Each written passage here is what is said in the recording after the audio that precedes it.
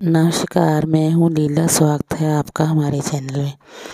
आज का विषय है, किस देवी देवता के आगे लंबी बाती लगती है, किस देवी देवता के आगे गोल बाती लगती है, पीपल बड़ और आंवला के नीचे कौन सी बाती लगती है, इसके बारे में हम बात करेंगे। पीपल और बड़ के पेड़ के नीचे गोल बाती लगती है, आंवला के नीचे लंबी बाती लगती है अगर आप मैया जी की पूजा करते हैं तो लंबी बाती लगाएँ।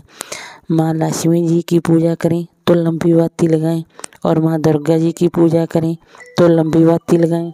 कुल देवी की पूजा करें तो भी लंबी बाती लगाएँ।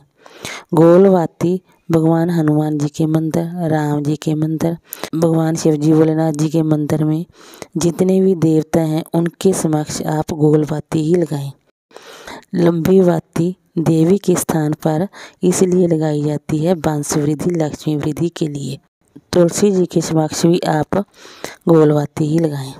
वीडियो अच्छी लगी हो तो लाइक कीजिए, शेयर कीजिए, सब्सक्राइब कीजिए। Thanks for watching this video.